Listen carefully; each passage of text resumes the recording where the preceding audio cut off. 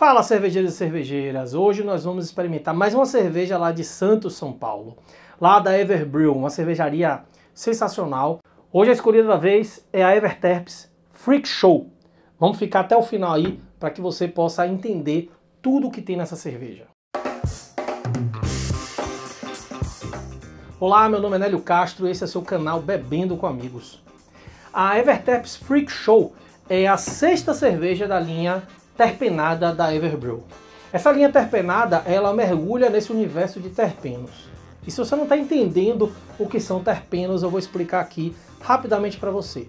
Mas se você quiser algo mais profundo, eu vou deixar um vídeo aqui no card e no descritivo desse vídeo também que explica um pouco mais detalhadamente o que são terpenos. Basicamente, terpenos são aromas naturais é, que distinguem as plantas, elas são extraídas das plantas e exatamente eles trazem características bem específicas. Vou dar um exemplo da canela, por exemplo. Então, aquele cheiro de canela, aquilo ali vem através de um terpeno.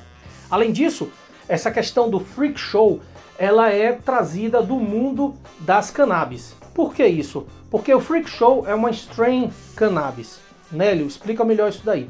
Strain é como se fosse uma variedade de cannabis. Cannabis é uma planta e ela tem suas variedades. E cada variedade dessa planta tem suas características. Muito semelhante ao que a gente fala aqui de lúpulos. Então, existem vários tipos de lúpulos, como Citra, né, o Cascade, Mosaic. Cada um tem suas características de aromas e sabores e que muitos deles trazem características, por exemplo, de frutas amarelas, frutas cítricas, é, alguns trazem características de, por exemplo, é, morango, né, coco, entre outras coisas. As strains, que são as variedades de cannabis, elas também trazem características aromáticas e sabores diferentes. Lembre-se, cannabis é prima do lúpulo. Quando a gente fala aqui de terpenos que são extraídos e tentando reproduzir essa variedade de cannabis, elas não são extraídas da cannabis aqui no Brasil.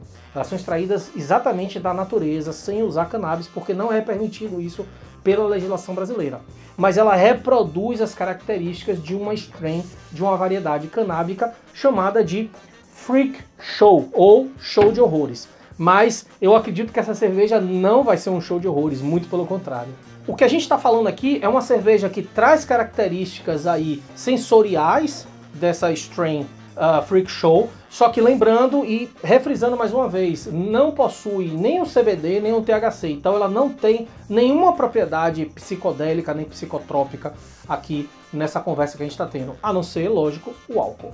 Esses terpenos, eles funcionam como se fosse um condimento, um tempero a mais que é colocado na cerveja, exatamente para trazer características diferentes, características que vão amplificar exatamente o que os lúpulos já estão fazendo nesse processo. Falando em termos de álcool, essa é uma cerveja que tem 7% de teor alcoólico e 68 de BU, que é a unidade de amargor que a gente já conhece. Agora chegou a hora de a gente deixar de conversa e partir para a degustação. Um detalhe sempre importante, essa cerveja, qual é o estilo dela, Nélio? Ela é uma, uma Hazy IPA.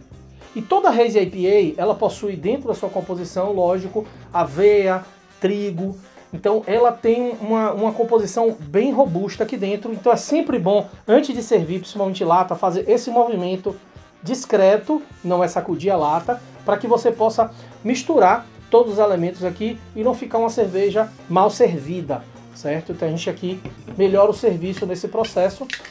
Então vamos lá.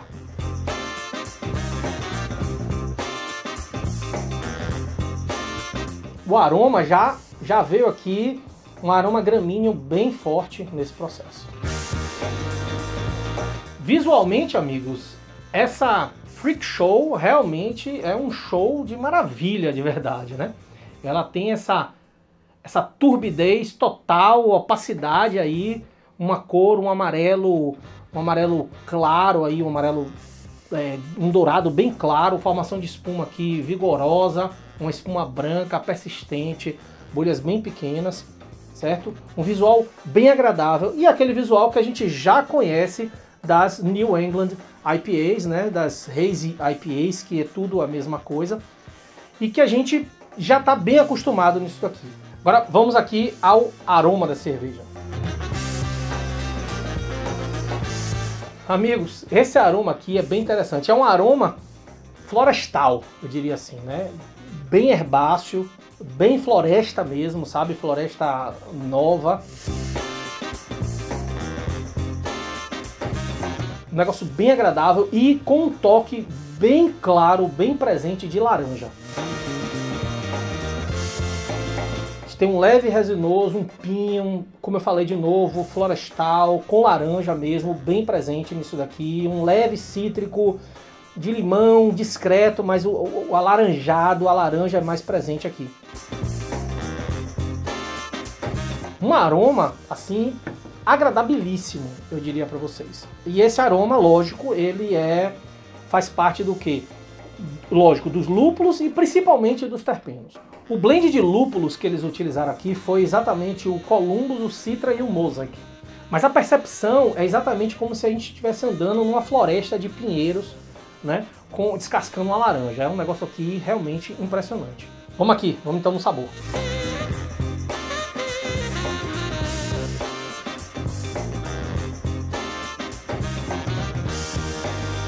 Amargor dessa cerveja, eu diria que é um amargor médio, 65 IBUs, está dentro do que a gente está esperando dentro de uma New England IPA, mas a percepção exatamente de novo dessa coisa de floresta é bem característico, bem resinosa, laranja, cítrico. Esse cítrico lembrou um pouco mais aqui o limão, né?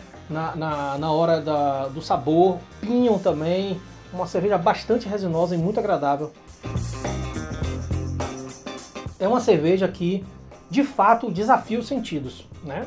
É, essa linha Evertaps é uma linha muito interessante porque permite que a gente, primeiro, tenha contato com essa coisa de terpenos, né, de strains, entender um pouquinho como é que isso funciona e de fato fazer uma degustação em casa, uma degustação guiada, com amigos, botar as pessoas para experimentarem, ver o que cada um está percebendo. Eu acho que essa é a brincadeira mais agradável e mais saudável que a gente pode fazer dentro desse universo é, de cervejas terpenadas. Eu queria saber se vocês já provaram essa Evertaps. Eu vou deixar um link aqui também com as outras cervejas dessa linha da Everbrew que eu já provei, para que vocês possam experimentar também e ver o que, é que já, já, já saiu.